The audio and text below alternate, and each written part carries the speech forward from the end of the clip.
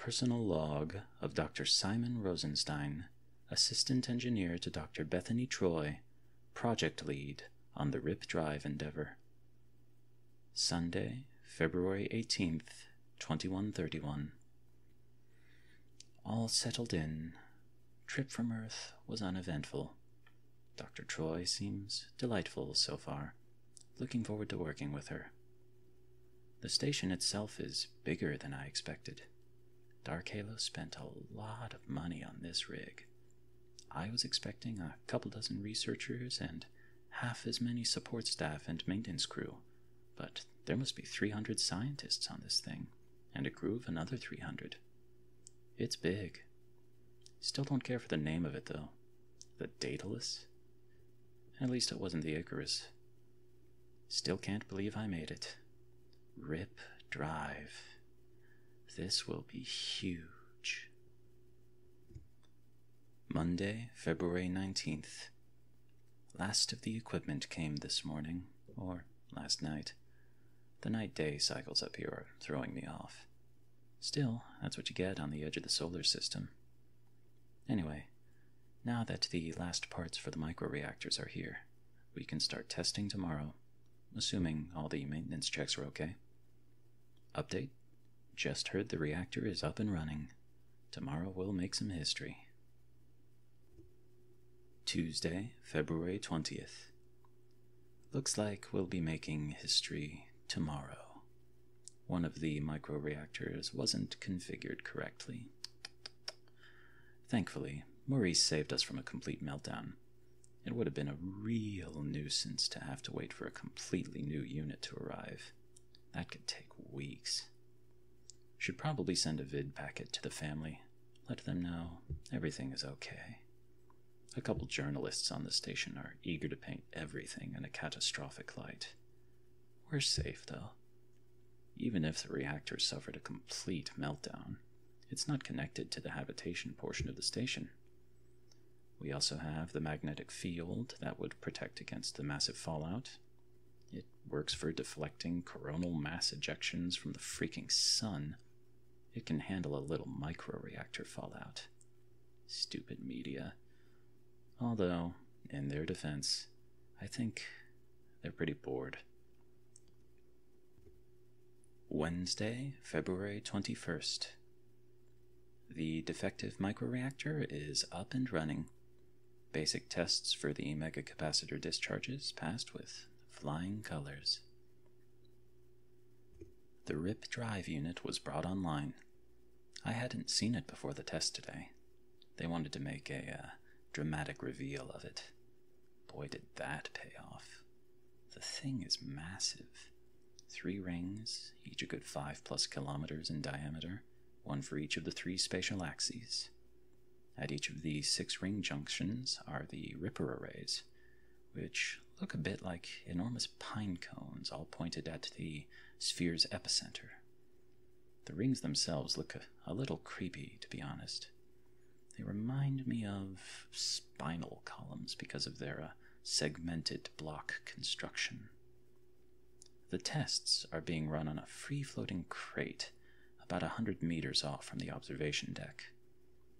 Recording equipment was placed inside, consisting of multiple cameras for visible range, UV, and IR spectra, audio recorders, gyroscopes, accelerometers, the whole package, and multiple clocks and timers.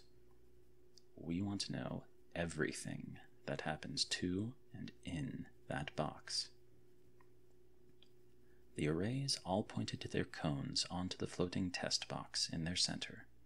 Surprisingly, there was some visual distortion around the box in the build up to firing the drive. Wasn't expecting that. Wouldn't have thought there was anything to distort. It must be something to do with warping space time around the epicenter, creating uh, lensing effects with the starlight behind it. They announced a rip-off, and the distortions disappeared. The floating crate was exactly where it started.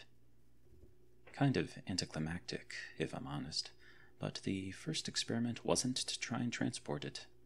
We just wanted to see if we could rip that crate out of reality and paste it back in the same spot. Complicated stuff later. but the good news? It worked. Interestingly, the sensors on the crate were all reporting as expected except for the clocks. The ripoff happened instantaneously from our perspective, but there was a good 15 minutes of time elapsed according to the clocks in the box. Strange. Kind of the opposite of how conventional relativistic travel would work. Everything in the box during the trip was unharmed. No changes in pressure, no damage to structural integrity, and no alteration of atmospheric composition. Not that we expected it, but good to know. The cameras pointing out to the portholes showed the stars before and after the ripoff, and utter blackness outside during. Makes sense. What would there be to see? If I admitted to myself, though, I was hoping for a light show. All in all, an incredible day.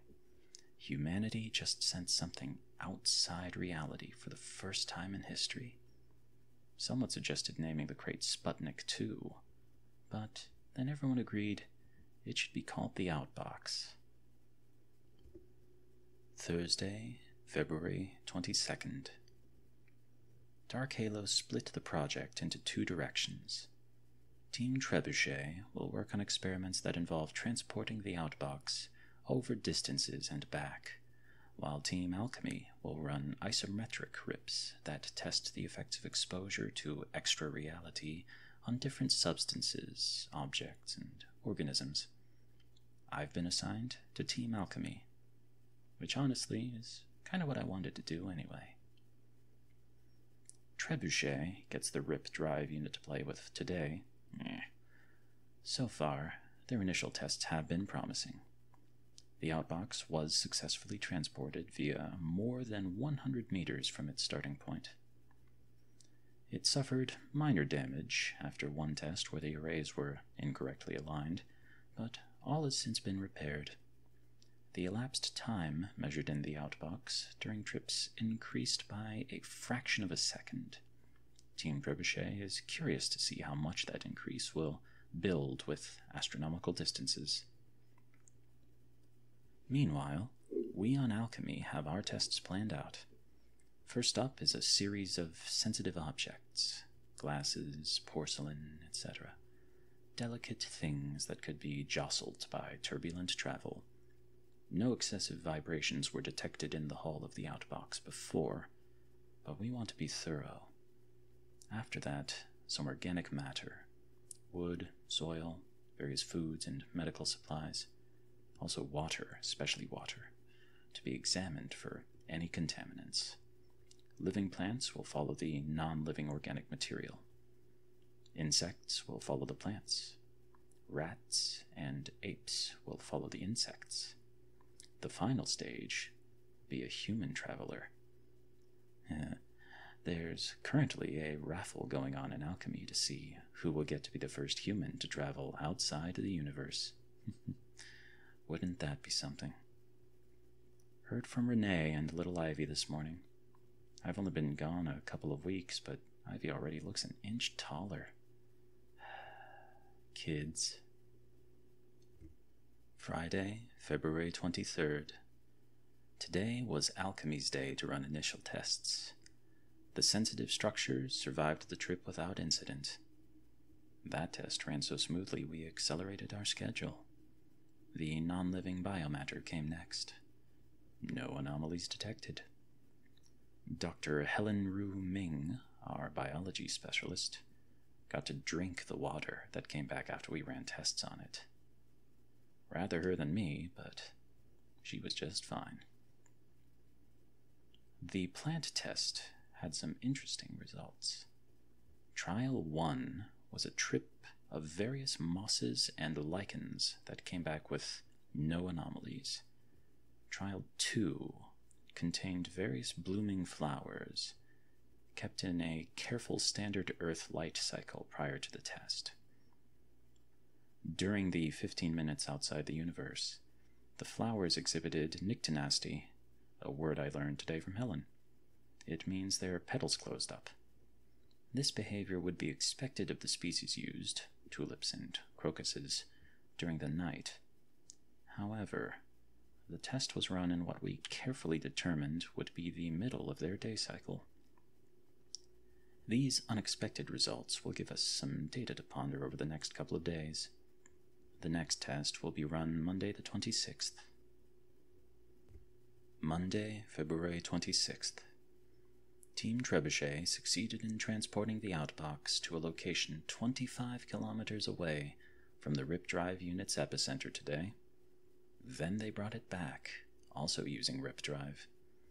They were previously able to bring it back from new locations within the volume of the large sphere, but this was the first retrieval from outside. Hmm, exciting. Alchemy has some theories about the flowers closing up. We're wondering if the lack of cosmic rays in the outside is telling enough to disrupt the plant's day night cycle. We're testing the theory out by putting different plants deep in the protection of the Daedalus's magnetic field generator, and more plants out in one of the station's extremities that reaches beyond the magnetic field, though not so far as to kill them. I think we might be onto something, but Helen is skeptical. Tomorrow the insects, and then the mammals. Tuesday, February 27th. Today's results were troubling. The first trip involved insects. We placed four transparent polycarbonate boxes into the outbox. One contained 12 fruit flies. The second contained, let me think, 12 butterflies. Yes, that's it. The third and fourth both had different kinds of beetles. The bugs were a little agitated before we sent them off, and when we got them back, they were buzzing and flying everywhere like crazy. We initially assumed, again, that the abrupt change in cosmic radiation and maybe even magnetic fields sent something in them haywire. Then we sent the rats. Four different boxes, again transparent, each holding a pair of female rats. The animals were quite calm when we loaded them in. I forgot how much rats will poop in a cage. Before we engaged Rip Drive, we looked at video of them in the outbox to establish a baseline for their behavior. The rats didn't seem to care for zero G, but they were making the best of it. We flipped the switch. When we opened the outbox again to retrieve them, each of the four boxes contained one living, absolutely crazed rodent and one savaged and shredded rodent corpse. I didn't know that rats could shriek like that. That sound will probably show up in my dreams tonight. We were scheduled to run the tests on the apes today, but given the rats' behavior, those have been postponed. Trebuchet gets some extra time to play with the unit while we figure out what to do about this. Oh, we also found out who won the raffle. Maurice Benson, the guy who saved the uh, microreactor from a meltdown. I bet he would have been a lot more excited about that before today's results. Wednesday, February 28th. The journalists know something is up. Nobody was dumb enough to tell them the experiment made the rats homicidal, thankfully, but someone left the storage section for the rats unlocked. They wandered in and saw the living rats still absolutely feral and going nuts. Helen tried to head them off by calling it space shock or something like that. It bought us time, but I don't think they believed her. Trebuchet's tests are all going swimmingly. Dark Halo sent a message congratulating them on their stellar progress. We weren't mentioned at all. I really don't want any negative publicity on this project. Alchemy is talking about running tests with more rats before we run the apes. The idea is to see if, maybe, different environmental conditions soothe the passage, closing the display ports, for instance. Maybe the sight of absolute nothingness is different in person than over the camera. But I doubt it. The plants couldn't see, after all. Oh, yeah, those tulips and crocuses haven't opened up again since the test. and the plants stuck in the middle of the magnetic field and sticking just barely out of it, the light cycle being maintained has them opening and closing normally. I just heard that the surviving rats from the test are dead. Cause unknown at present. On the bright side, single celled organisms appear to be unaffected by the rips. No superviruses or new invincible diseases were created. The samples we took of microorganisms from the latest tests were all normal. I'm glad someone thought to check that, considering the other results. Thursday, March 1st. We were ordered to run the apes today. Dark Halo heard that we were stalling progress on the tests due to concern for the animals' welfare, and insisted that progress was more important than the lives of a few simians. Idiots. Those apes are the closest we'll get to simulating human travel without actually sending humans into the outside. Don't they get it? Sending those poor animals into something that we know causes homicidal mania in other mammalian species. Dr. Troy tried to buy us time, but she only managed to get things put off until tomorrow. Friday, March 2nd. Today was horrifying. We sent the apes through. They were each placed in a reinforced titanium cage one on either side of the outbox. They weren't thrilled with the cages, and even less with zero G. Still, they were behaving like apes when we looked at the video feed from the outbox before engaging Rip Drive. When the outbox came back, they weren't running wild or crazily clawing at their bars. They were completely calm, even more so before they went through the rip, in fact. Before we opened the outbox to retrieve them, we watched the video taken during the rip. Initially, right after the drive was engaged, the two apes did appear to panic. They howled and cried out and shook at their cage bars. After a moment or two, though, they calmed down. They looked at each other and seemed to communicate from across the room. Then they settled down, gripping the bars and waiting in silence. Based on this video, we believed that there must be some initial trauma during ripoff that our instruments cannot identify, but that life forms experience. The rats and insects were overwhelmed by it, and the flowers noticed it, but the apes, maybe due to their higher brain function, were able to weather it. We were wrong. When their handlers opened the cages, the apes attacked. They killed their handlers easily and ran around the docking bay targeting crew members and other station personnel. They worked as a team, pairing up and using the environment to their advantage to. No, I won't describe how they did it. I don't know how the custodial staff are coping. The two animals were eventually killed by security personnel, but only after 19 of Daedalus's crew were killed. Dark Halo sent an observer to mark our progress. He wanted us to run more tests, saying that the ape's behavior was inconclusive. Dr. Troy punched him in the face and told him he was out of his mind. The observer tried to have Dr. Troy apprehended by security, but after the ape rampage, they were firmly on our side. Alchemy is on full stop for now. Wednesday, March 7th. Trebuchet's tests have mostly finished up.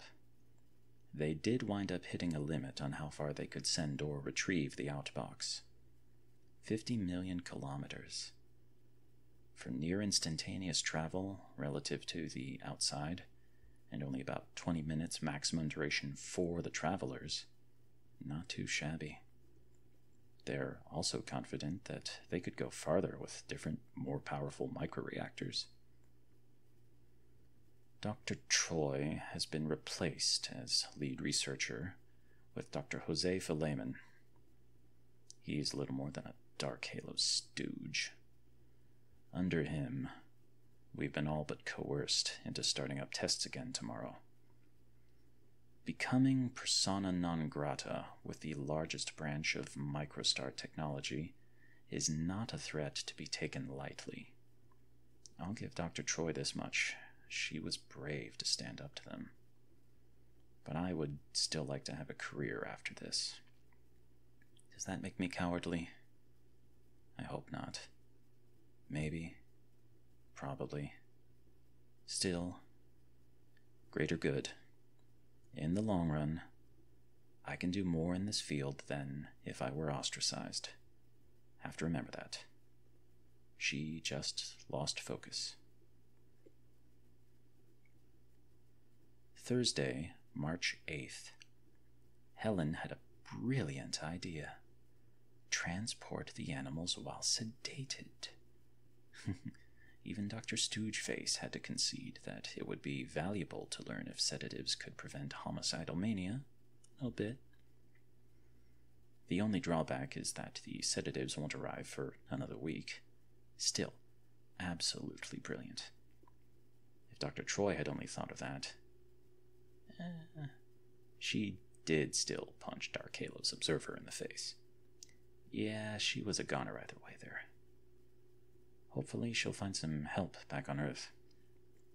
Wonder if she's there yet. Wednesday, March 14th.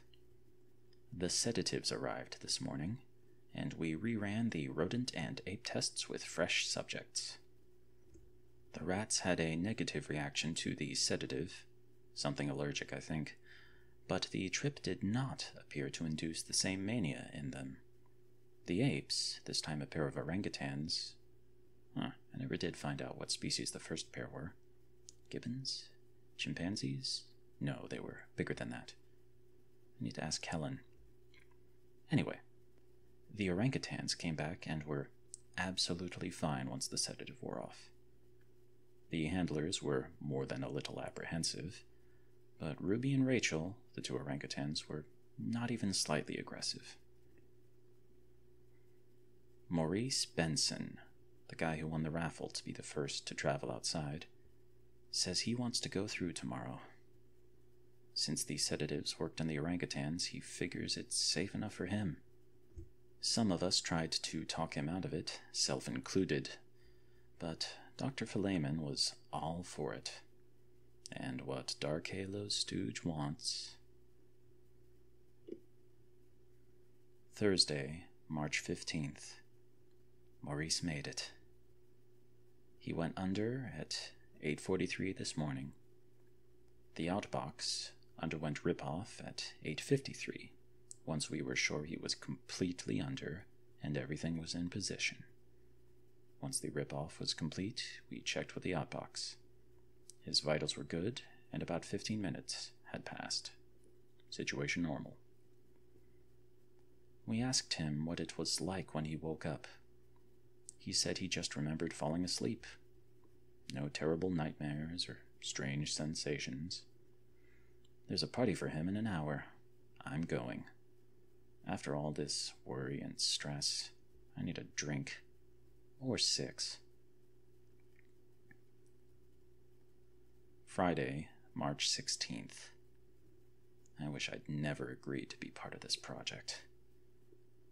After the successful voyage of Maurice yesterday, Dr. Philemon insisted on trying it with a conscious human. Everyone protested, but he said the subject would be drugged, given high strength depressants to counter the mania. That swayed enough of the others in alchemy. They wanted to see what would happen. Only Helen and I remained opposed. Maurice didn't want to go again but they strong armed him into it. I tried to stand up for him. They called security on me. I just watched, helpless. I couldn't stop them. They put him back into the outbox. He gave a weak smile before the doors closed on him. They doped him up pretty well. They fired up the rip drive.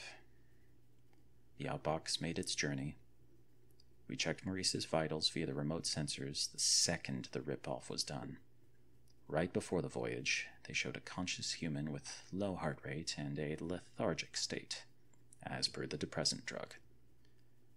After, his levels were normal for an awake human.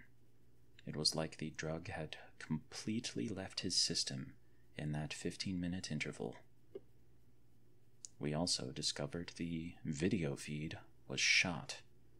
We tried to pull the recording of the trip, but got nothing. We had to open the outbox to see him. Security personnel lined up around the outbox's door, stun guns at the ready. The doors opened, and Maurice walked out. He looked normal. He smiled and waved at everyone, asked if those were fully charged Medrev 12s they were holding, or if they were just pleased to see him. The security guards didn't lower their weapons, but we could see the tension leave their postures. We had security escort him to a holding cell for observation. Then we looked in the outbox.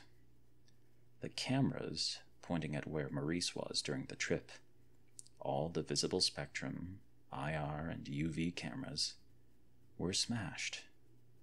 Their memory was obliterated.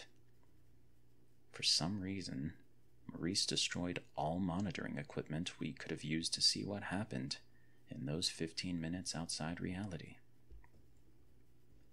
Later, we went to interrogate Maurice. Dr. Philemon and most of the others wanted to know about the trip.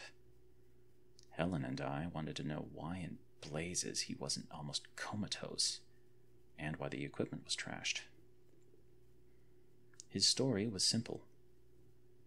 After ripoff started, the drug started wearing off in a few minutes.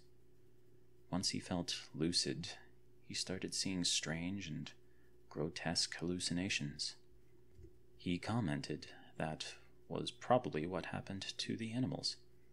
He also said that he was still seeing us as those same hallucinations, but that he wasn't going crazy because he kept reminding himself to stay calm, and that what he was seeing wasn't real. Allegedly, the hallucinations were fading, but slowly. It took him a little while to realize this in the outbox, and by then, he had already smashed the recording equipment. Simple. I don't know how I know this, but the man we spoke with, it wasn't Maurice. The Maurice I knew was jolly, a touch awkward, clumsy, and always ready to laugh. The man we interrogated was reserved, cool, and always smiling in a way that seemed more predatory than happy. His answers were calculated and brief. The rest of alchemy was satisfied with his explanation, I don't believe a word he says. Neither does Helen. We insisted that he be kept under observation in the cell as a precaution. Maurice, or the thing that used to be Maurice, objected, but Dr. Philemon also seemed unnerved by him, even though the doctor was more accepting of the story. Hopefully, this buys us time to think of something. We need to shut down alchemy tests. Saturday, March 17th.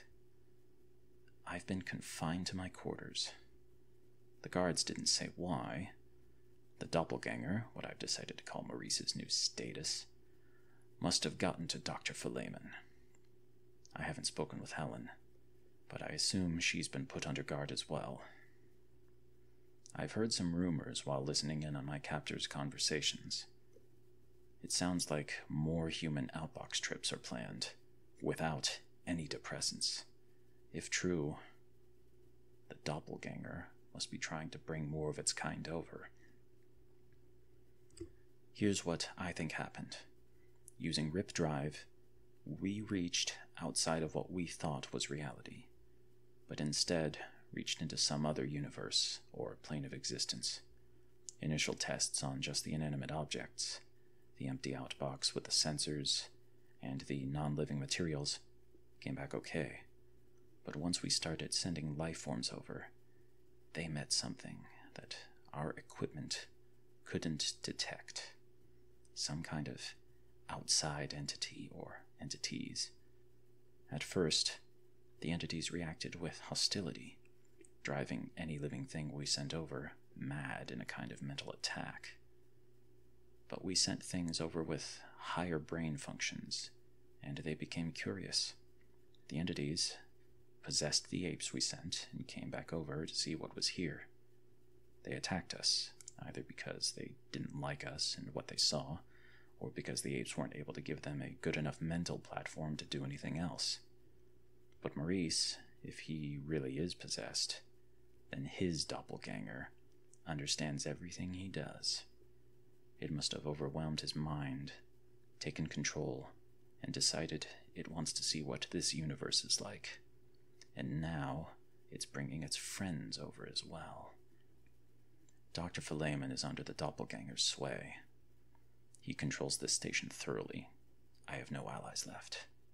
Not since Helen is sequestered too. But I have to get word out. To Dark Halo, to Microstar, to the Astronavy. They have to stop this before it spreads. Before the entities possess the rest of us. If this were to get to Earth, we would be, as a species, possibly lost.